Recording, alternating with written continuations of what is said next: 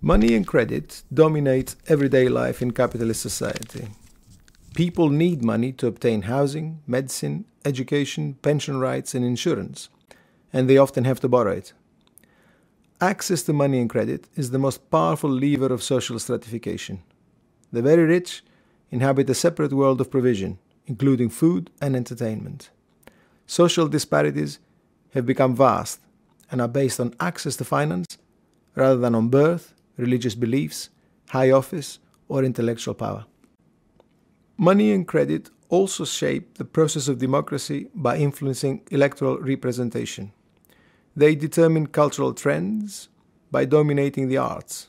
They mold morality by valuing human relations in terms of pennies and pounds, buying you social standing, personal sophistication, individual erudition, even fine feelings.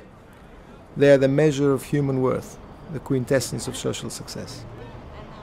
A world after capitalism would transform money and credit from external forces that shape the lives of individuals into instruments that serve people. Two important steps would reduce the power of money. First, there would be expanded public provision of key goods and services.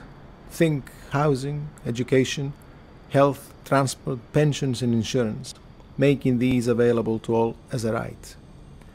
Second, there would be growth of the new commons through the internet, making information, the media, music, and other goods practically free at the point of consumption. Creative interpersonal relations would flourish, giving greater depth to the arts. Greater fairness and equality would go together with greater popular participation in literature, music, theatre, and all the things that add color to human existence. There is nothing unrealistic about this prospect, and indeed elements of it already exist in capitalist society. Think state welfare provision in health. Think costless access to goods and services through the internet. A new society would develop and coordinate these associational and communal practices while ensuring democratic accountability money would become mostly a practical means of keeping accounts and delivering goods and services to people across society. At the same time, money would offer the opportunity to exercise choice once basic needs were covered by obtaining goods such as clothing, food, holidays, and so on from the private sector.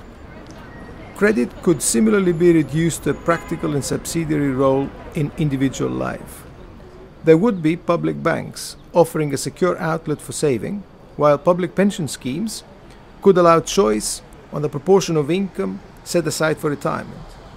Modern banks already possess databases and statistical techniques to assess and evaluate the creditworthiness of huge numbers of individuals. But they deploy these to make speculative loans. Adopting this model led directly to the gigantic crisis we're currently going through an alternative society would take over these methods, using them to smooth consumption according to choice and without speculation. Reducing the power of money and credit would eliminate the poisonous role they now play in social, political, moral, and ethical matters.